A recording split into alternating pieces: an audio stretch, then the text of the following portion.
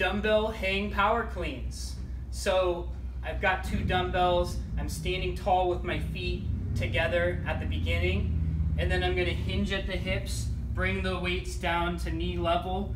From here, I'm going to extend, and then I'm gonna rebend to get my body underneath the weight, and then I'll stand tall with it. I'll bring it back down to the hips, and then I'll repeat.